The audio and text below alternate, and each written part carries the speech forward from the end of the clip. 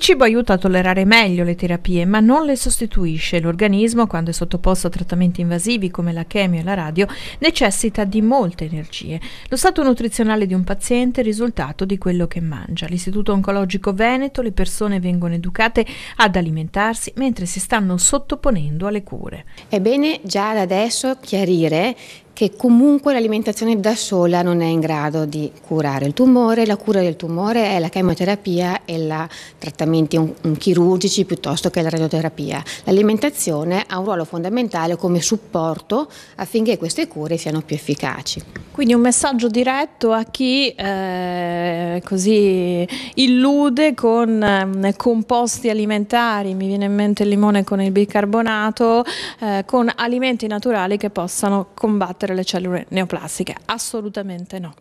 Concordo, esatto, non abbiamo dati in nessun modo, in, in nessuna maniera che queste cose siano efficaci, parlo della dieta alcalina piuttosto che diete vegane o macrobiotiche, nessuna di queste si è dimostrata valida eh, in termini di eh, miglioramento del, degli outcome in questo tipo di pazienti.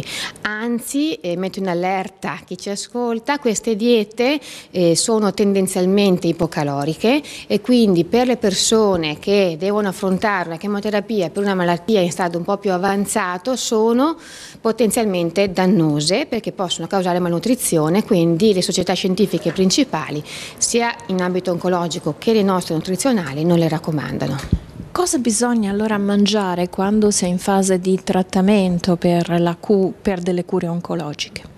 Bisogna innanzitutto distinguere due gruppi di pazienti. Possiamo individuare un primo grande gruppo di pazienti che magari è stato sottoposto a già alla chirurgia, faccio un esempio, un tumore dell'intestino o più comunemente un, un tumore della mammella e che poi per rafforzare l'effetto già curativo e guaritivo dell'intervento chirurgico viene sottoposto a un ciclo di chemioterapia. In questo caso i pazienti normalmente o non hanno problemi di peso in senso di malnutrizione oppure è più facile che proprio per questi trattamenti tendano a aumentare di peso, quindi avere problemi di sovrappeso o obesità, sia di partenza che dopo i trattamenti, le terapie. C'è chi aumenta e chi perde peso durante le terapie. Per chi aumenta la dieta più indicata è quella mediterranea, con apporto di pesce azzurro. La convivialità l'attività fisica, mm, la classica, eh, le classiche 5 porzioni al giorno di frutta e verdura, però cercando di sbilanciarsi un po' più sulla verdura che sulla frutta, altrimenti troppo zucchero. Mm? A ogni pasto è importante che ci sia una porzione di carboidrati complessi. Cosa sono i carboidrati complessi? Il pane, la pasta, il riso o i cereali, adesso c'è anche la moda, sono tornati alla moda, il farro, l'orzo, e Quindi questi non, mm, bisogna assumerli perché c'è sempre paura che eh, i carboidrati facciano ingrassare, no? soprattutto la sera, invece no. E invece no, tutto con parsimonia, è la porzione che fa la differenza, è la quantità, ma è la benzina del nostro corpo e quindi ogni pasto vanno comunque inseriti. Se li prendiamo integrali è meglio perché il controllo del profilo glicemico e quindi insulinemico è migliore. I formaggi che associano proteine e grassi sono indicati nei pazienti che accusano un calo ponderale.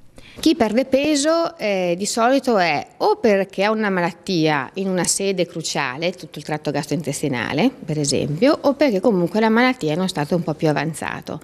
Il calo di peso in questo caso ehm, si accompagna sicuramente anche una perdita di massa muscolare ed è il muscolo, la perdita del muscolo che fa eh, peggiorare la, la clinica del, della persona che si sente più stanca, più debilitata e che tollera meno i trattamenti.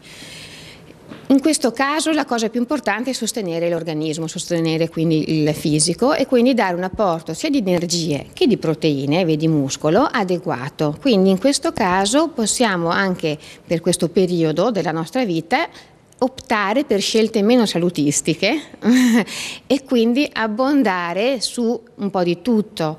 Per, eh, siccome spesso però i pazienti non hanno tanto appetito, o hanno anche un senso di satietà precoce, giustificato da tutto il quadro, sia dalla malattia che dagli effetti delle terapie, che dalla paura, do, magari anche il dolore, la preoccupazione dei cari che a volte si fa pressante, allora le strategie migliori sono quello di frazionare mm, non solo colazione, pranzo e cena, ma aggiungere gli spuntini e quel poco che riesco a mangiare che sia bello calorico. I legumi con i cereali sono il piatto ideale, forniscono energia e proteine senza grassi.